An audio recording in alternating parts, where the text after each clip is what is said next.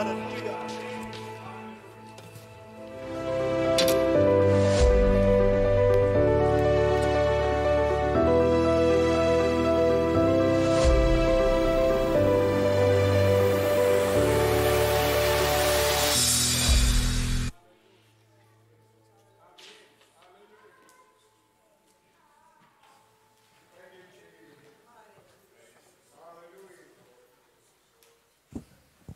Praise the Lord. Praise the Lord. I thank God uh, that His presence is here with us this morning and uh, that His Spirit is uh, moving amongst us. As long as we're here in an attitude to receive from Him, God is faithful to surely uh, not let us leave here without a blessing. Uh, amen. So, so let us uh, remain here, um, desiring uh, to receive something from Him. And I, I don't stand here, uh, I, or I rather, I stand here fully trusting that His Spirit will empower me to bring His word. Um, and so, with that, I'm going to uh, continue in our series that we've been talking about since the beginning of the year, which is titled Looking Unto Jesus. Looking Unto Jesus. Um, we have, I'm going to just uh, cover just very quick where we are in the overall plan. As you know, the first three months, um, uh, January through March, we discussed who Jesus is uh, as he is revealed in the Old Testament. And even though God appeared to different people in the Old Testament, he also revealed himself and his plan uh, through prominent figures in the Old Testament. We didn't cover everybody, uh, but uh, we discussed and elaborated on a few key characters that um, brought the shadow of Christ through their life. We talked about Abel, we talked about Noah, Abraham, Joseph, and then uh, and then lastly, Jitu covered. Um, we talked. Sorry, did I Moses? Yes, Moses, and then Jitu covered David, and just summarized that section last week, and touched on many. Uh, many of the others that we didn't have a chance to talk about. So, that was the first part of our series, which was the forerunners of Christ. Now, starting today, we're moving forward into the main topic that we have, which is looking unto Jesus. Who was Christ? And, and especially uh, today, I'm going to start with the beginning of that, which is his birth, which is our first uh, part of this uh, section. And, uh, you know, we can take as long as or little as we want it. And I'm going to just kind of kick things off, and we'll trust in God's leading on how much, uh, how deep to go into each of these sections. But this first uh, part of it is talking about his birth and his early life. So just wanted to kind of give you a compass to where we're at. Okay, so with that, I'm going to go to uh, the next slide just to discuss real quick. So we talk about uh, his birth, and we talk about uh, the birth of Christ a lot uh, during one part of the year. And we talk a lot about that during uh, and leading up to uh, uh, the Christmas holiday. And uh, generally, you know, it's after Thanksgiving. But you know, people are trying to move it up earlier and earlier. Maybe we'll have Christmas in July at some point. Uh, but uh, so from Thanksgiving through Christmas and maybe up to New Year's, we talk a lot about uh, the birth of Christ and all the various events uh, that the Bible talks about around the birth of Christ. And, um, and so it's unusual for us to talk about uh, the birth of Christ in April, right? Uh, but I wanted to bring to you, uh, and all of us hopefully will, uh, will bring to you kind of you know, a little more deep dive into what that entailed and what, what all happened at the birth of Christ. But before I get started, you know, as we know, so there are four Gospels, and each of the four Gospel writers had their own style of writing, right? And that just shows that God is not trying to force us into become, you know, uh, uh, somebody that we're not, right? He wants a transformation of our personality, but he works with our personality, right? So he's not trying to make you like the person sitting next to you, but he's trying to transform your personality to shine forth the character of God. Okay, that's what the whole gospel story is about. So, in the same way, each of the gospel writers have their own style on what they emphasized on and how they wrote the word, where Matthew, Mark, Luke, and John, they have their own way of describing the same events that they witnessed themselves. But not only that, if you go further than that, they actually describe Christ's life on earth from the angle of four different facets of the same Jesus, right? And we all know this very well, uh, and it's discussed uh, in Ezekiel chapter 1, which is a vision that Ezekiel saw. But the Gospels, and again, you can see that vision in Revelation uh, chapter 4, but gospel, the, each of the Gospels show this four facets of the same Jesus the lion, which is the aspect of him being a king uh, which is Matt, the Gospel of Matthew. Gospel of Mark is the ox, which is the aspect of him being a servant. Uh, the Gospel of Luke, which is the aspect of him being a man. And finally, the Gospel of John, which is the eagle, or which is the aspect of him being God, right? And so, from that aspect, we can see that each of the four gospel writers chose to highlight or not even discuss uh, the birth of Christ itself. So Matthew uh, uh, talks, uh, you know, in the first two chapters of Matthew, uh, gives you know a different way of bringing forth the gospel, uh, the story of the account of the birth of Christ. And he starts with the genealogy of Christ, uh, starting from uh, from Abraham uh, down to down to Christ, right? Fourteen generations of three each, and and God, so Matthew goes down the line, lineage of kings.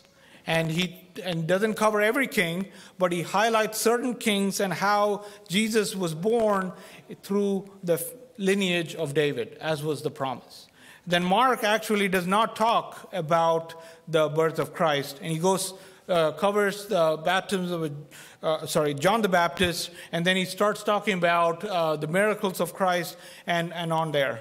And Luke uh, actually spends two long, very long chapters on describing in detail a lot of the aspects that we know about the birth of Christ comes from uh, both Matthew and Luke, but Luke goes into a lot of details and Matthew doesn't, eh, and we'll come back to that in a second. And then finally, John doesn't really talk about the birth of Christ uh, at all, but shows the picture before Christ came to the earth, right? Who was he before that? So, so now coming back to uh, coming back to uh, so that's the outline of the gospel and how they each of them lay out the um, story of the birth of Christ. And I encourage you to go read Matthew chapter one and two, um, and then Luke chapter one and two. And I would read, encourage, and then John chapter 1, and I would encourage you to read them one after the other so you can compare and contrast how each of the gospel writers brought those stories forward. Okay. Now, but before that, there's more to it than just, you know, we know Jesus was born of a virgin, right? And that is impossible as we think about it. That, that is not how we understand how human procreation works. But actually, it is much, much more of a complex miracle than just the fact that uh, Jesus was born of a virgin. The fact that Jesus was born on the earth. And actually, I put up an analogy here. Um, I just want to illustrate so that you can help understand. Okay, so that's a football picture. But there's a play in football called uh, Hail Mary. It's wrongly named because we don't worship Mary, that's fine. Uh, but what happens in a Hail Mary play is if a team is losing and they needed one more score to win, and so they draw up a play that the quarterback from one end of the field will throw the football all the way into the end zone, so where they score the goal. and all the players will run to the end zone, and the quarterback has to throw that football and reach one of his players and not an opposing player because it doesn't work. And it doesn't matter who in this uh, lineup catches the ball, as long as it's the team that's throwing the football catches the ball, they score, and then presumably they either tie the game and go to overtime or they win and the game's over, right? So that's a Hail Mary play. I just said this example to say the story of Jesus being born of a virgin in Bethlehem through the lineage of David, uh, 400 years after a period of silence, it's like throwing a football from Oklahoma and reaching Fiji on the other end of the globe, and somebody in my family catching the football. It's much more impossible to think about than that. And just like that team needed that catch to win, right? It's like in an action movie, right? In the nick of time, the action hero escapes out of the explosion and he runs away, right? And he's saved, and uh, an impossible situation happens. The same way, just like this football example, unless somebody caught that ball, they wouldn't have won. Unless Jesus was born of a virgin and came to the world as a human being, we would still be in our sins. We would not have this victory today that we preach about unless that happened, that event happened. It is more impossible than me throwing a football from here and somebody, I don't have the arm strength. I mean, I can't even throw it to the other end of the church, so let me be honest here. so, uh, somebody in Fiji catching that ball. So, the question for you and I is what does that mean to you? How did this happen? Because when God made man, he already knew that he was going to sin but he saw you and I and wanted uh, us as children in his family. He wanted us to redeem him, and he made a plan already. He drew up that play, the Hail Mary play. The difference with God's plan and, and this football play is it was not this last ditch effort.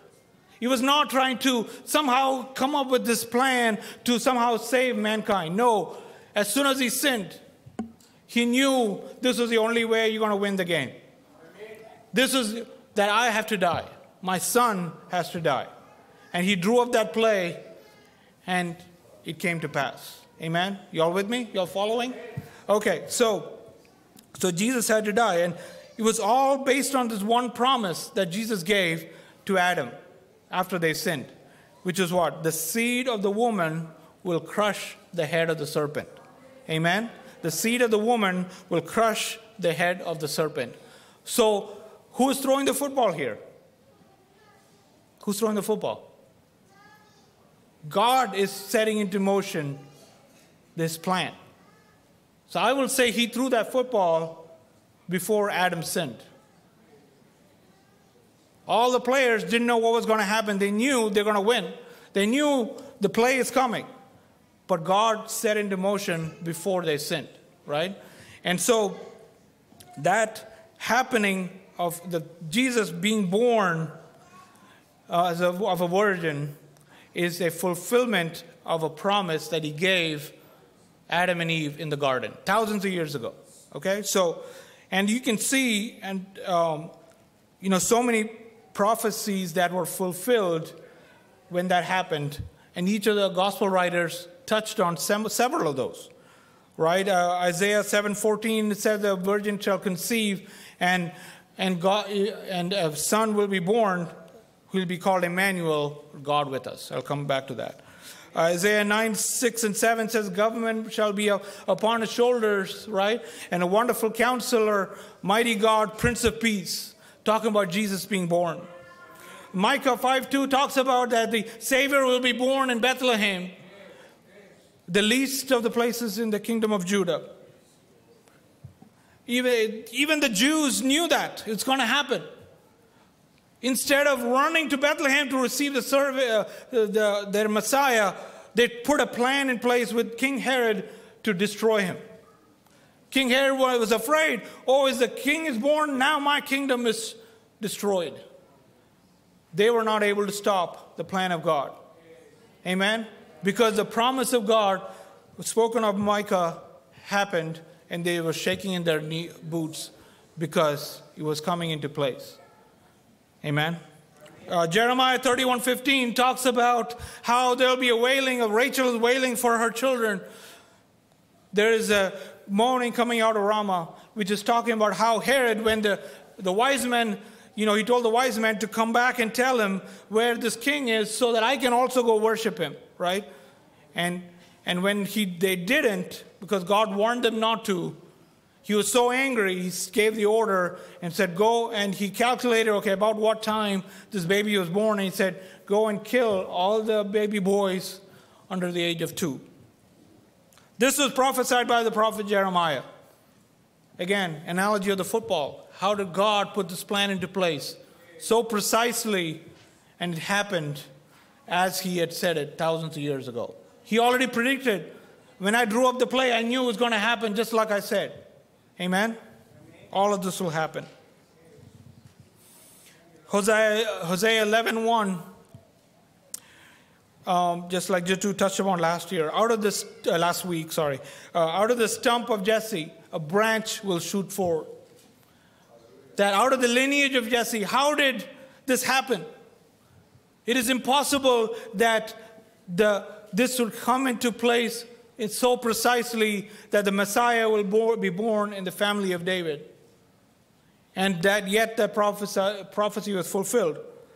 The reason I said that was because when Jesus was born, there were 400 years of silence. Nothing was happening. Not only that, the kingdom of Israel was destroyed, the kingship. Now they were ruled by another sovereign nation of Rome. The Romans were ruling over them, and Herod was king over that province. So it is impossible because there is David's kingdom going to be resurrected again? And uh, that's what they thought will happen, right? They thought that uh, David's kingdom will be reinstated when the Messiah comes back. And that's why it's impossible because his kingdom was not the kingdom they were imagining. Amen? But God's plan was not to be stopped. So, so but when, when you can read, you know, it's like, uh, so coming back to the silent period, 400 years of silence, right? Think about from now, 400 years prior. You're talking about 1623. I mean, we don't even remember what last week's sermon was about, right? So, so 400 years had passed, and not only that, it was silence. God was not openly speaking to people in prophecies and visions, and there were no scripture that is credibly accepted as scripture included in the Word of God, right? So it was complete silence. They don't know what's happening, but the promise of God existed. It's like when you throw the football, there's this hang time, and it's just hanging in the air. You don't know what's going to happen and it's going a long way and going and going. There's everybody's holding their breath, and it's going so long. You're like, ah, it's not going to happen. We're not going to win. People turn the TV off and walk away, right? But God, who put the play into place, knew it was going to happen exactly as He promised. Amen. So, so when when He said, "Government shall be upon His shoulders," that He will be a king from the house of David when he told uh, Mary that his king, there shall be no end to his kingdom. He's talking about a different sort of kingdom. Amen. He, if he knew, if the devil knew this plan, I believe he would not have crucified Christ. Psalm uh, chapter 2 says, heathens are in a rage, and the kings of the earth are imagining a vain thing. They were trying to conspire together. All the principalities, all the powers, and the kings like King Herod, you know, and Pilate later, conspiring to put to death the leaders of the Jews, the Messiah, because they thought he was going to put an end to their way of life. Amen? But rather, this is a stumbling block that God placed. He kept it a secret because he didn't want anybody to stop his plan. Amen? So uh, we have to understand our kingdom is not of this world. Amen? God didn't call us into his, his this way to give us thrones and powers and privilege in this world. He did not do that. He came to pluck us out of the hand of the devil and bring us into his kingdom. Amen? Just like he showed that vision to Nebuchadnezzar, the, the, the stone that put to dust the kingdoms of the world, and it became a great mountain that filled the whole earth. Yes, God will establish his kingdom forever, that will fill the whole earth one day. But right now, it's an unseen kingdom. Amen? And that kingdom is what Jesus came to establish eh, eh, when he came in this world as a human being. So, just real quick on the silent years, and I'm going to keep moving fast. Um, so, when we think about the silent years, it's uh, just like I said, it's the, you know, the football's in the air, you don't know where it's going to go. It's hanging out there, what's going to happen. But God was working. Even though nothing was, you know, evident, God was working. And many times God uses the worldly systems and people to fulfill his plan. So he was using, he used Alexander the emperor, his rule and his spread of his empire. He used that to spread Greek as a common language that was spoken. It's like English today. So that means that the gospel could be easily spread at that time. When Paul took the gospel, he was able to speak in Greek and people understood all these places that he went. Amen. That the Greek philosophy and thinking was so infiltrated in the Roman Empire that Greek was an easy, it's like going to India and speaking English. Any part of the world, most people speak English, right? It was a lingua franca of the time, it was the commonly accepted language. God used Alexander to put that plan into place. He also used the Romans. The Romans put all these roads and road systems into place. There's so many other things I can talk about, but these roads and highways and byways we talk about, the Romans did that. I mean, they had a brutal reign that they conquered, but God used them to put these roads into place so that the gospel bearers can travel beyond Jerusalem. That Paul and his you know, and many others who came after him could travel to all these unknown places to bring the gospel. That the gospel spread so easily at the time because of these things that God did during those silent years. Before, it's like all the things you do to prepare, right? So when you come to church, you do all these things to prepare to come to this point. You just don't climb out of bed, roll up in your PJs, do you? You get ready, you pray, you prepare to worship him along with the saints, right? So God was preparing his son to take the form of a human being. Amen? And then, last thing I will say is, you know, if you read the account of Matthew and Luke and even in John and Mark, the uh, one thing you see are witnesses. See, when God does something, he just doesn't do it in a vacuum.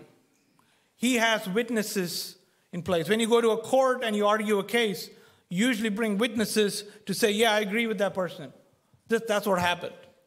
So in this football game, you have referees and commentators. They're saying, Yeah, well, that's what I agree with what happened. That's what happened.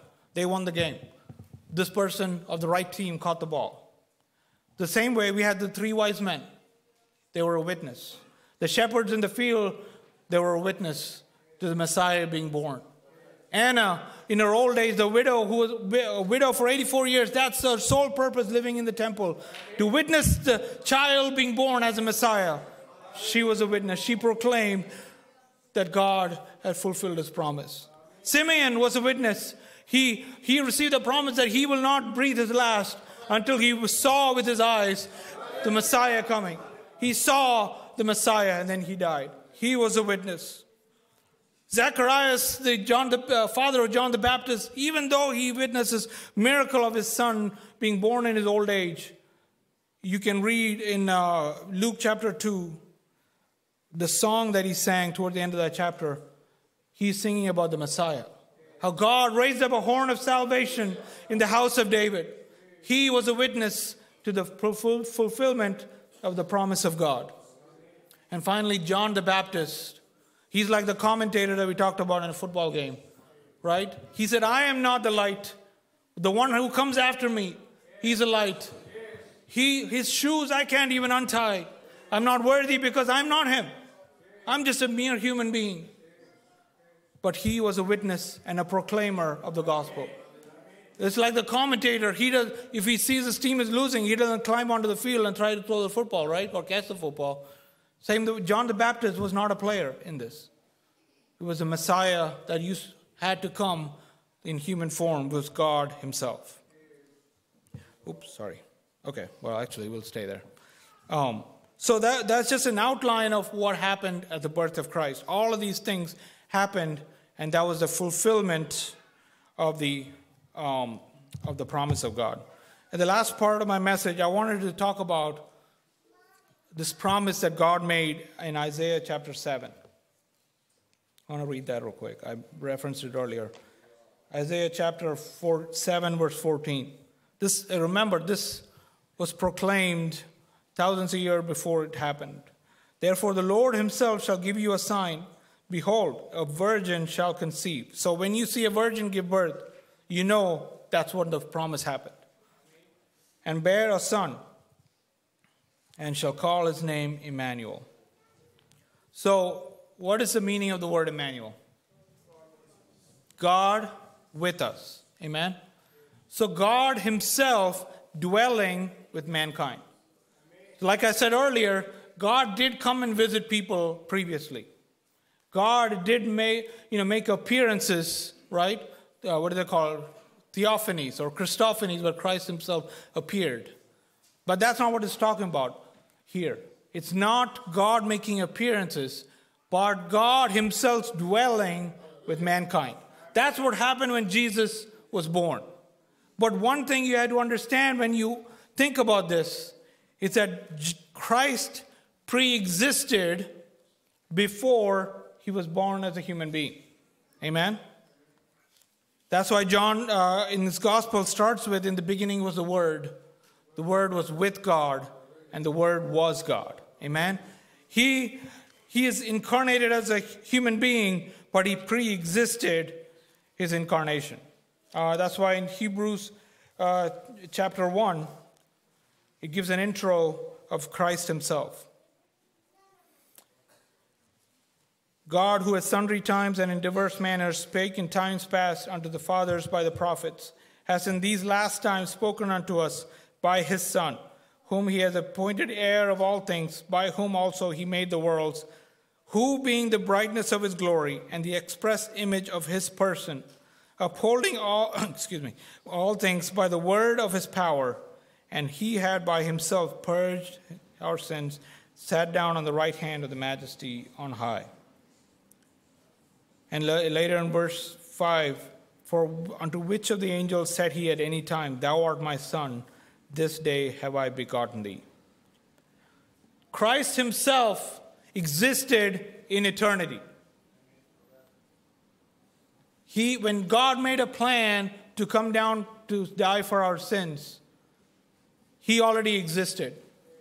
And he humbled himself to become a mankind. And so when you think about this, you know, that's when Jesus, God said, You are my begotten son. What does begotten mean? To come out of, right? To be created from. Christ was God himself.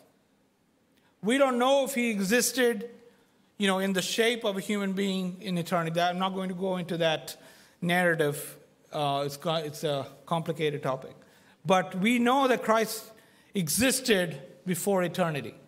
And at the right time, he came into the earth. So it was God himself, and I imagine this in this picture that I, uh, if you can put that picture back up, is God himself.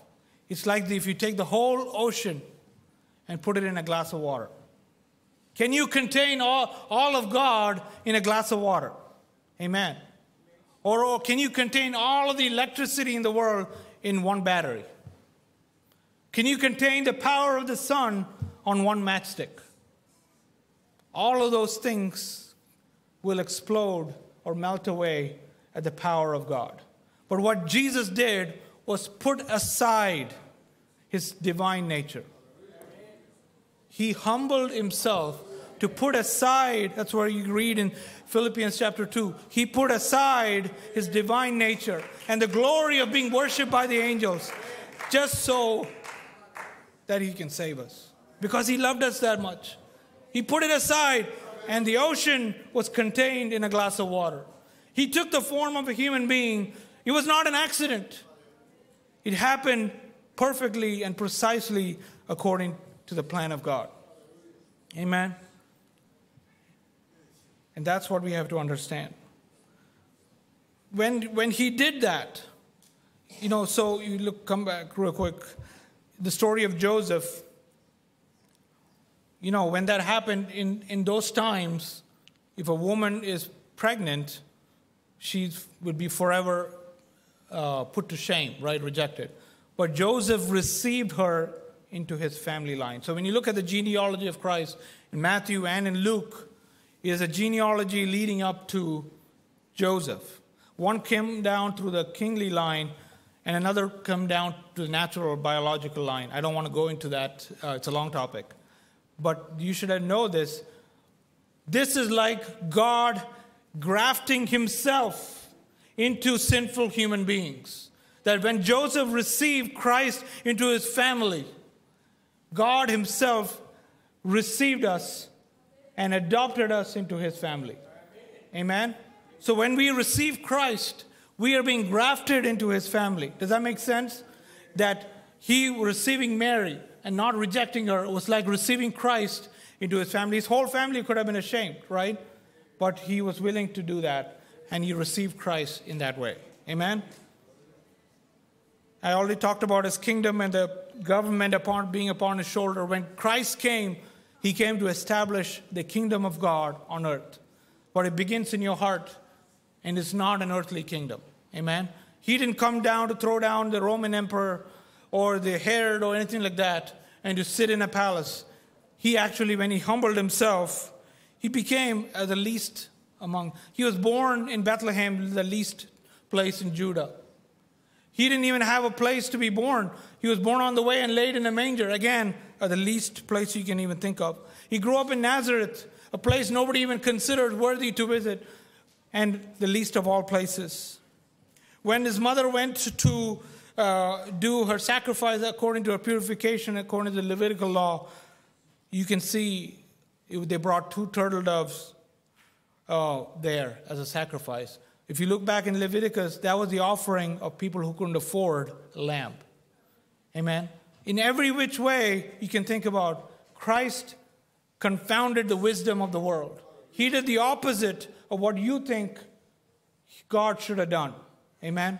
And he was born, he humbled himself so that to show you that the ways of the world will not save you. all the plans you had in your mind um, of how to win this football game, you would not have won this game. You could have used all your training as a quarterback to throw this football. Would never have happened. It would never have saved you. But Christ humbled himself to show you this is not the way that you win. It is my way. Jesus himself is the way, the truth, and the life. And I invite the worship team to come up. Christ humbled himself to be the least among men and we'll talk about his death and his life here. It talks about how the degree to which he himself he humbled himself. And lastly, Hebrews chapter 10, verse 5. Wherefore, when he cometh into the world, he says, Sacrifice and offering thou wouldest not, but a body hast thou prepared me. The body of Christ. Why did God come in a human body? Why did Christ have to be born as a human being? Because for us who live as humans, who are humans, only a body in our likeness can be offered as a sacrifice. Amen? You can't offer anything else to, when you want a organ donate, uh, donation, for the most part, if you want a heart, you look for a human heart, right? You don't go try to find the heart from a cow. It's not going to work. the same way God had prepared a body in, through his Son to save us from our sins. And so that this ocean can be contained in a glass of water. And God, through that sacrifice, he saved us from our sins. So when we think about this, the body of Christ, he established, you know, the dwelling place of God, Emmanuel, God with us, God containing himself. But that is what happens when we become the children of God.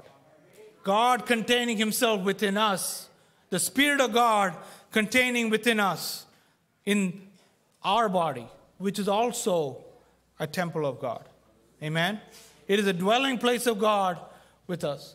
But it requires a, an acceptance, a sacrifice that I'm going to choose to live for Christ. You have to believe that God died for you. You have to believe that only through Him, you have to believe that the quarterback is throwing the football, knows what he's doing. And I'm going to believe that this person will catch the football at the right time. You have to believe that Jesus died for you and give your whole life to this sacrifice. And when you think about that, I want to leave you with this. When the Spirit of God dwells in you, that should bring this fear and reverence that to treat our body like the temple of God, right? That's why we, you know, when we preach about keeping our bodies holy and pure, whether it's sexual sins or whatever we do, it's not because of you're trying to follow a bunch of rules. It's because this ocean is contained within us. This temple that God has prepared for Himself, this body that He's made for us, He wants it to be holy. It's not so that He's forcing us to follow a bunch of rules. But on the other way, on the other side of it, this ocean contained in us also gives us so much power that we can do unbelievable things. Amen? We can change the lives of people. We can do things greater that Jesus said, greater than these can you uh, that you can do through the Spirit of God. He that is in you is greater than he that is in the world. Amen. The power that is contained within us can bring healing in our body.